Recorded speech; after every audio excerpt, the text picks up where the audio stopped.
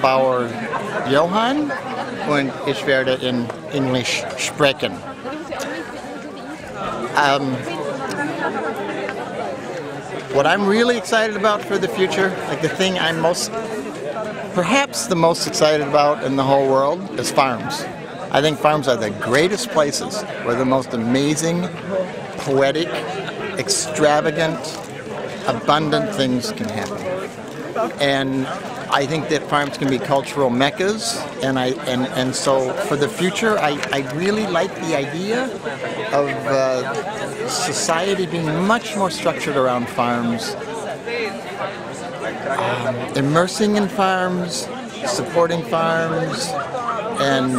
and sort of entering into the character, the nature of farms, so that um, they'll be infused with these natural processes, be grounded because farms really ground people,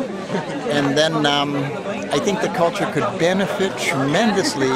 if people are experiencing a lot of their life out of their relationship to, to, to farms.